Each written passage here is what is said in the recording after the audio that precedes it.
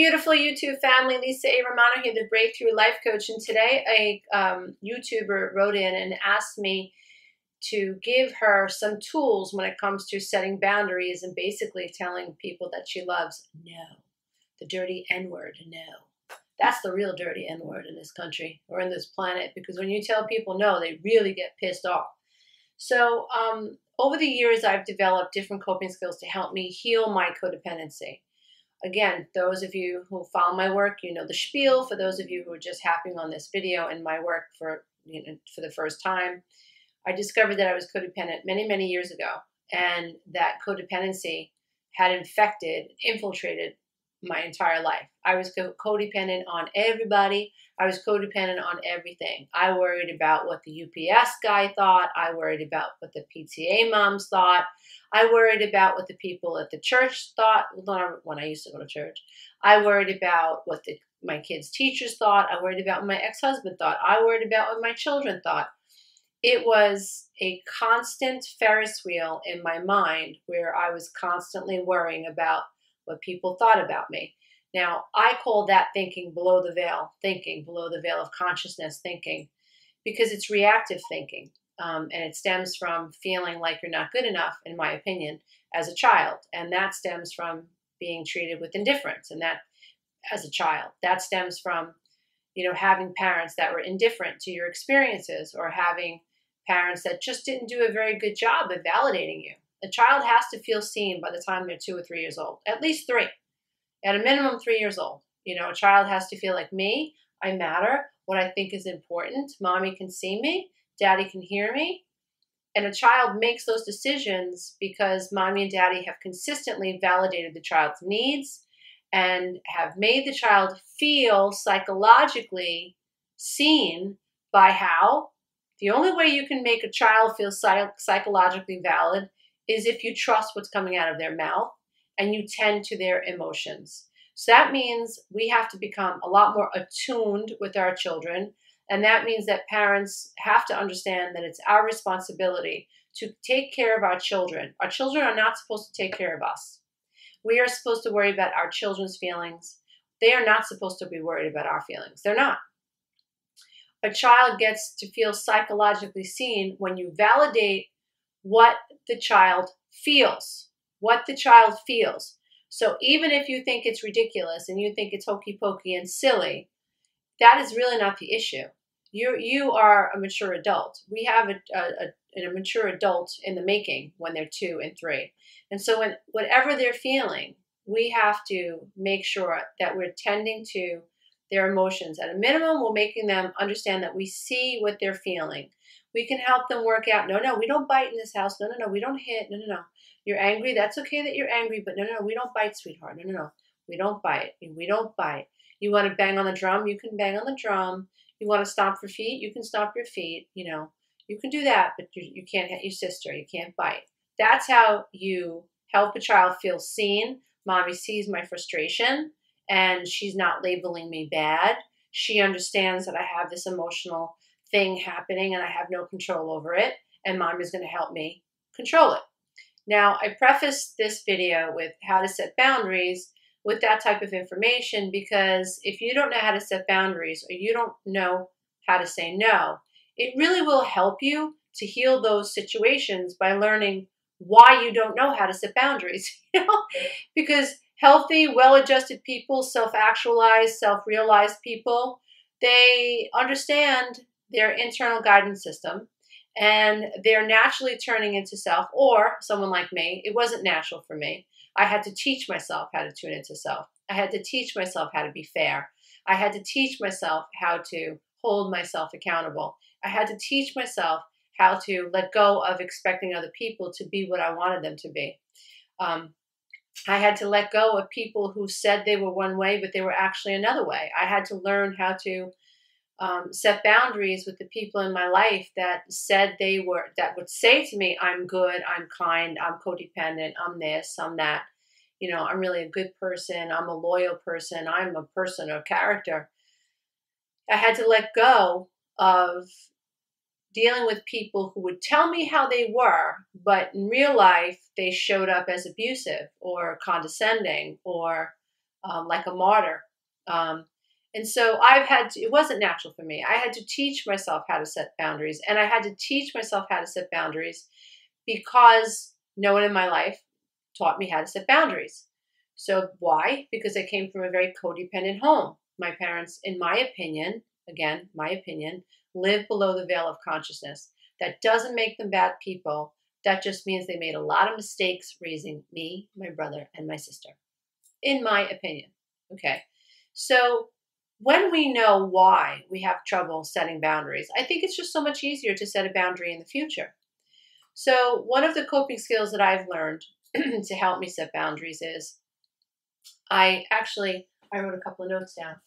The first thing that I do is I set a boundary in my head by asking myself how I feel. So I remember experimenting with my best friend that I was very codependent on back in the day. And I remember one time she said to me, Can you come to my house early? Now I knew what that meant. You know, I, that meant, Can you come to my house, help me set up before the guests get here, and help me calm down because I'm nervous. I have social anxiety and I want my house to look perfect. And I, want, I feel better when you're standing next to me when people come into my house, which means that I had to get done earlier. I had to go over there and help her clean up. I understood what she really meant. Now, there were times there were issues in my life with my with my best friend where I love her so much, but I had to come to a point where I realized that there were just so many things that she was willing to do for me. And our relationship was very off balance. It was very good in some ways, but when it came to the relating part, you know, um, of every day, it was just I just felt like I was giving a lot more than what I was what I was receiving, and I was feeling I was feeling depressed about it. I was feeling um, resentful about it, which is all negative feelings. I was feeling um, just pushed to the side. I was feeling um, undervalued in the relationship, and so the the relationship was definitely lopsided, just off balance. And when I began to set boundaries, it sounded what happened was I began to tap into myself. So when people would ask me a question, instead of saying, "Oh yeah, sure," you know, like the little Chihuahua puppy dog that's on the dashboard of cars, you know, yeah, yeah, yeah, yeah, yeah, I'll do that, yeah, yeah, yeah, sure, sure, and running myself into the ground, I started stopping. I was more present, and I was very aware. I knew when someone asked me a question to do something, that was my signal to become present. Like, you know, where am I? She's asking me a question. It's a yes or a no and I actually have a choice because I'm an adult and I don't have to do everything people ask me to do. So, the first thing that you want to do is get very, very present every time someone asks you a question, especially if it's a yes or a no question and you're playing with boundaries. So, when someone asks you a question, just become really, really present, become really, really mindful, and ask become aware that they're asking you a yes or no question. Once the yes or no question has been presented, the next step is to ask yourself how you feel. Just imagine what the internal compass is saying. Do I want to do this or don't want to do this? Do I want to do it or no? Is it yes or no? If you're truthful with yourself and you don't let allow the old programming, codependency, and fear of making other people angry, which is a part of being codependent. If you're truthful with yourself, you'll probably get an answer pretty quickly. You'll know whether you really want to do something or not.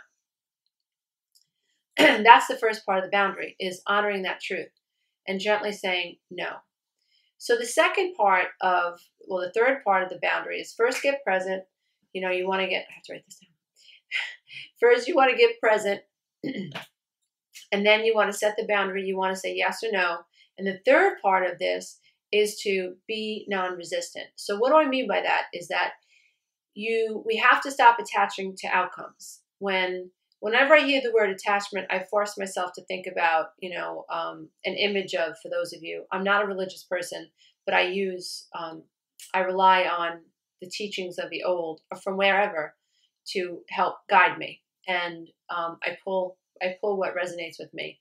And when I think about, when I think about the word attach, every time I think about the word attach, I think about Christ being attached to the cross.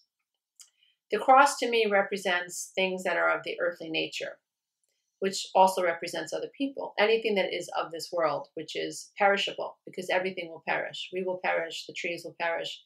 I'm not being morbid, it's just a fact. It's a scientific fact that everything will perish. So when I hear the word attach, I think about being attached to a cross, you know, and how painful it is and how painful it was for Christ to be attached to a cross, nailed to a cross.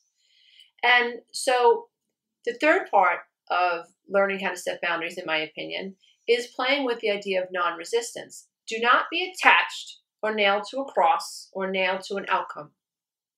So that means that whatever happens in the next moment, you have to be non resistant to. So that means if your mother in law gets an attitude when you say, No, I'm sorry, I'm, I'm not going to be able to make it over there this afternoon, I'm just, I'm swamped with work, you know, how about next week? And when she gets pissy, that's when you practice non resistance. I love practicing non resistance because when I'm non resistant, you can't, you can't, you can't activate my root chakra. You can't mess with my head if I'm non resistant. You want to call me a bitch. You want to make fun of me. You want to say that I'm an idiot. I'm a this, I'm that. And as long as I stay non resistant to what's coming out of your mouth, you can't activate anything that's negative in me. And then we can't be two pigs that are wrestling in the mud. You'll be wrestling in the mud all by yourself, you know? which I think is awesome. So when you're setting setting a boundary, you have to really come into alignment with the idea of non-resistance. And so when you say no, you have to be non-resistant to what happens in the next moment, which means that you have to be accepting. Now, accepting doesn't mean that you like it. It just means that you understand that you're not in control of how someone else felt about you saying no. You know, a practical thing to remember is that when you tell people no, they're going to get angry if you've been a codependent your whole life and you're you're the aunt or the or the mom, the Kool-Aid mom, or you're the PTA mom, or you know, you're the soccer dad and you're the baseball dad, you know, and you're the guy that's always taking care of everybody else. You're the rock of the family. People are going to get really pissed off when you stop inviting them over for dinner, when you stop being the one to send birthday cards and no one sends your family birthday cards. When you stop making the phone calls to make sure the whole family stays together, when you stop organizing this event and stop organizing that event, when you start saying, no, I'm sorry, you know, you're going for a manicure when you should be at karate with your kid. You know, I'm not taking six kids to karate. I don't want that responsibility. I could use a manicure myself, by the way. So, you know, when you start playing with boundaries and and and using your beautiful internal GPS or your internal guidance system, your compass, we have a compass. And what's really awesome about coming into alignment with the compass, oh my goodness, I'm just realizing how red I am. Anyway, I digress again. Um, when we start really coming into alignment with our compass, we come into alignment with greater purpose. We come into alignment with higher self. We come one step closer to becoming self actualized because our compass is helping us lead, lead us towards becoming self actualized. So when I say no, and I'm honoring myself, I'm one step closer to honoring myself, loving myself, and becoming self actualized. When I learn to be okay with people being upset with me, I'm one step closer to being self actualized and, and living my life's purpose. Because your compass and your internal guidance system has only one purpose, and it's no different than the, the cells in your body. And the cells in your body are designed to keep you healthy and optimal. The cells in your body are designed to keep you alive your human body it can do what no defense system anywhere from any country could do. Your body is constantly looking for ways to keep you afloat to keep you breathing to help you survive. And when we come into alignment with what our body is trying to tell us we survive in a way that that is just so different than the way that we've survived before when we're not at our optimum when we listen to the GPS, when we listen to our compass, and we begin to set boundaries, yes or no, we come into alignment with our true purpose and doors begin to open for us. The universe responds, or actually, we're tuning ourselves up to a specific vibration. And what will happen is we almost step into this reality where all these things that we've always wanted begin to show up.